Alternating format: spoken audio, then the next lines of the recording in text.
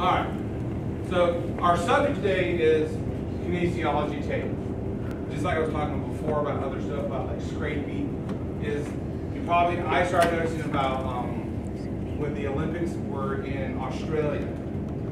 Um, all these people started coming up to me going, I noticed that athletes are wearing what's all this black tape that you're seeing on the athletes. As you can see up here, she's wearing kinesiology and I was like, I have no clue.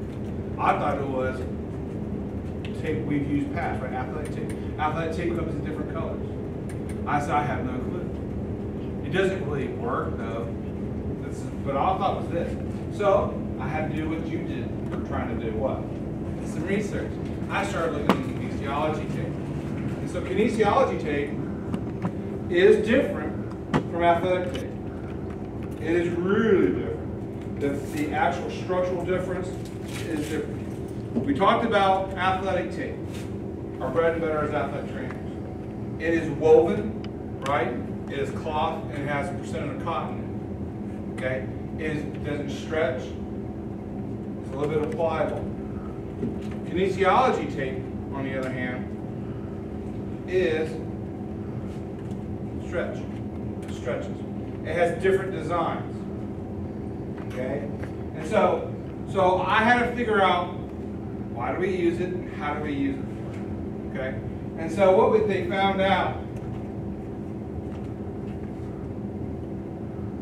uh,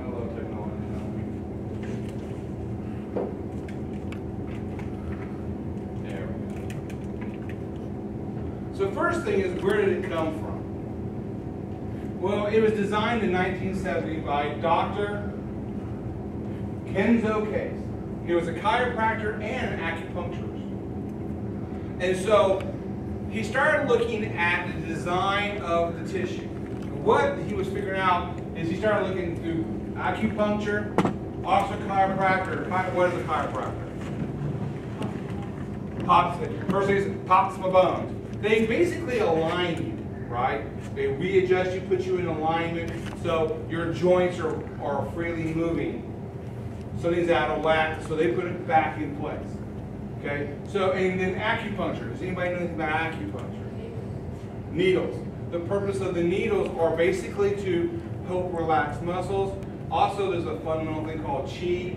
They believe in, we talked, I don't know if we talked about it before, but chi is about um, the, you have a field. We do have a magnetic field around us. But the chi also, they found out, goes in, when you go into the muscle, it helps relax the muscle. The needle is stimulating the muscle tissue. And so when they looked at it, for his studies as an acupuncturist and as a chiropractor, there's another thing I looked into, it's called myofascial release. We talked about the fascia before. The fascia is a thin layer of um, tissue that surrounds all our organs and muscles. And what happens is over time of overuse, basically the muscles, what? They contract and stay that way. And if somebody, if you were, somebody says, oh, I got a knot in my back. I got a knot in my shoulder. What is a knot? It's muscle tightness. And you can actually feel it, right? You can actually feel the knot. And basically the muscle is, the, and what they're doing, they found with myofascial is, is basically you smooth it out. Okay?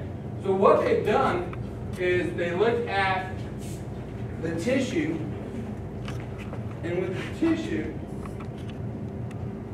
is the tissue is basically compressing, pushing down on the what the different levels of the tissue is what? Two layers of tissue is what's two layers of the tissue? Dermis and the epidermis. Epidermis is what? Top. And so they looked at it as, it, as the muscles are scrunched up. It puts compression down, slowing, the, slowing down blood flow, also slowing down lymphatic drainage. Find out, let's say we're doing the deltoid. Okay, she has pain right in here. So, the, you know the origin and insertion of the muscle. Okay, so what we find is, so you might have to cut it to what you want. So I'm going to start back here on the scapula of the spine, come down, and we'll put it down here, back here where the um, insertion of the deltoid is, okay? And usually what I do is I come from here and I kind of curl it up because it'll bend and I can curl it up and give her a little bit of support, okay? So how you start off, you find your insertion, your insertion. You need two ankles, anchor strips. Then we did anchor strips. Well this, and here's the cool thing about this, is all you do is take this tape and it's easy to tear. We don't have to worry about tearing. Is it the tape of the back, this little um, plastic covering, it just tears real easy. So I want to make two tears. And these are going to be my anchors, okay? These are not going to be stretched. So I find her spot. So I peel it off. It's a lot easier There we go. So I basically lay the anchor down and I rub it. Again, it's heat activated. Some people use their finger. Some people use the um, leftover and rub it. So you just want to rub it pretty good. Get the um, glue activated. And so I take the rest. And a lot of the research I said said about 40 to 50%. So I'm going to pull about 40 to 50%. Okay? And then you just lay it down and then you come here, and then the insertion point, basically I'm going to just take that off again. You're not going to stretch, just part of the anchor strip. And then again, you rub it.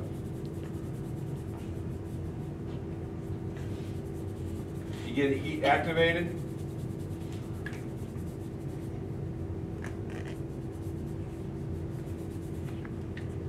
and that is it. Now we can, using KT tape, we can, if she had instability, anterior instability, what I would do is I come from the front, come back around, cover it over.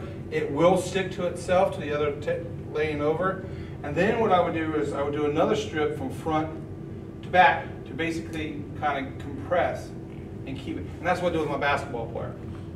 Again, how much stretching? Now, let's say she had, she got hit and she was really bruised. I would do about 50, 60 stretch. I would put some stretch because I really want to pull the skin up. Now, question is, do you feel it pulling on you? Not really. So when I say I'm putting a stretch on, I'm not, she doesn't really feel it. Okay? So, now, let's grab, um, grab a couple strips. go ahead and practice.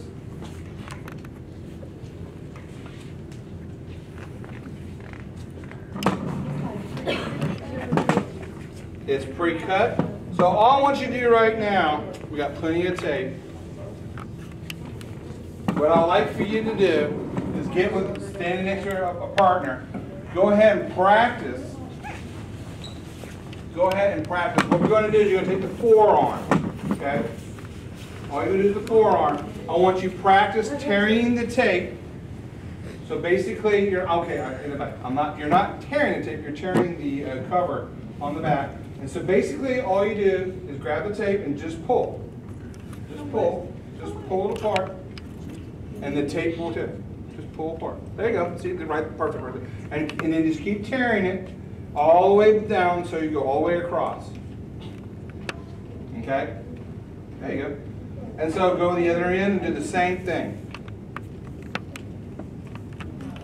So you should have two ends that look like this. So when you do that, what they do? All you're doing is tonight you're preparing the tape. So so when you peel off the sticker, you know. so they have the sticky end. So what you you don't want the problem is once it starts sticking in the glue, you can't. I learned if you peel it off and try to reuse it, it won't stick. It's one. So you really don't want to mess up the glue. So, and I want to protect this part. I don't want to put any um, dust, hair, or any imperfections on it so it won't stick. So I want to keep the covered part, covered, the tape covered as long as possible. Okay, so grab your person, and all you're going to do is peel off the one end. Okay. All right, so using her, so peel off one end, so you have it exposed at the end, and just place it down on the forearm. And then you're gonna rub it down a little bit.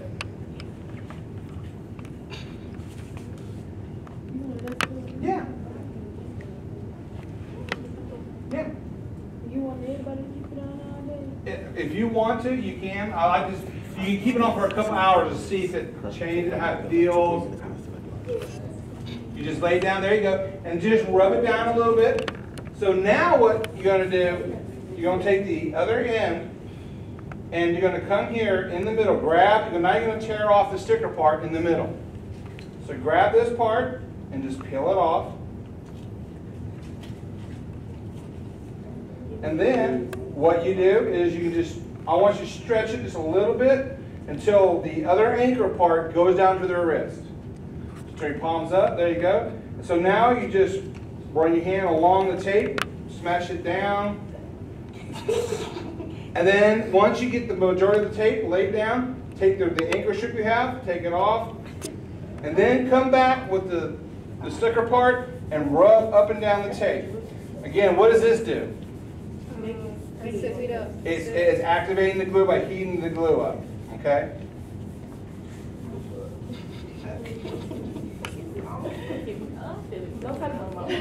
Okay. So now the people who have it, just move your hand around, arm and stuff like that, and you should feel it moves really with you. It doesn't restrict you at all.